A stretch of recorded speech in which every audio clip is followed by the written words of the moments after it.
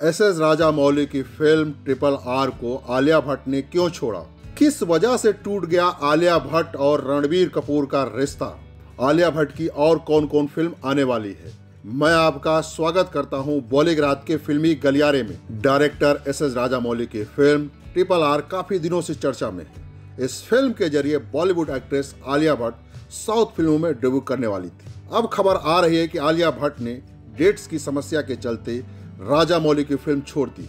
वैसे माना जा रहा था कि गली बॉय एक्ट्रेस इस महीने की शुरुआत में ट्रिपल आर के लिए हैदराबाद, गुजरात और पुणे में शूटिंग करने वाली थी।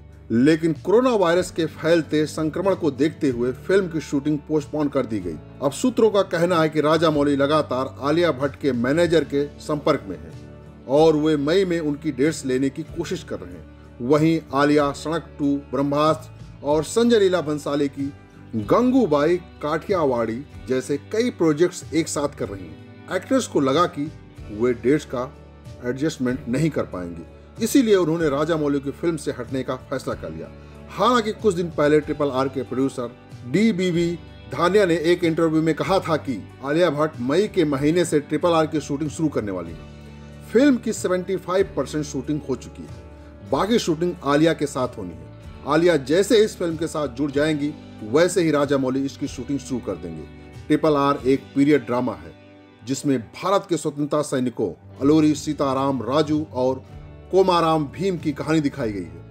फ़िल्म में जूनियर एनटीआर और रामचरण मुख्य भूमिकाओं में नज़र आएँगे और इसी फ़िल्म में बॉलीवुड के एक्टर अजय देवगन भी कैमियो रोल करते हुए दिखाई देंगे।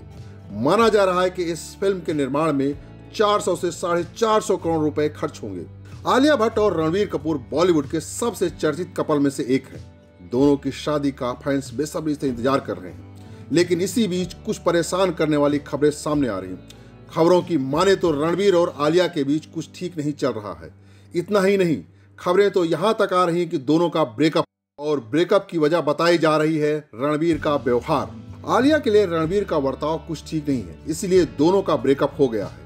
और कुछ लोगों का मानना है कि रणबीर और आलिया अब भी साथ हैं। अभी हाल ही में आलिया भट्ट 27 साल की हुई हैं और उन्होंने अपना जन्मदिन मनाया है। एक्ट्रेस ने अपना जन्मदिन बहन शाहीन भट्ट और अपनी गर्ल गैंग के साथ मनाया। लेकिन उसके बाद एक फ़ोटो सोशल मीडिया पर काफ़ी वायरल हुई, जिसमें रणबीर कपूर उन्हें किस करते हुए नज़र आ रहे थे। उस फ़ोटो में रणबीर और आलिया के अलावा अर्जुन कपूर और मलाइका अरोड़ा भी थे। फ़ोटो को नताशा पूनावाला ने अपनी इंस्टा स्टोरी पर शेयर किया था। लेकिन अब खबरें यह हैं कि रणबीर तो आर्या की बर्थडे पार्टी में शामिल ही नहीं हुए।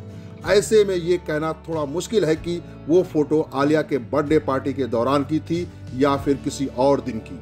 दोस्तों, आज के लिए बस इतना ही। अगर आपको कोई भी प्रश्न पूछना है तो आप हमसे सीधे पूछ सकते हैं। आपके प्रश्नों का जवाब आपको नेक्स्ट वीडियो में दिया जाएगा, या वहीं पर कमेंट के नीचे आपको बता दिया जाएगा। आप बताइए, क्या रणबीर कपूर के साथ आलिया भट्ट की शादी होनी चाहिए या फिर नहीं?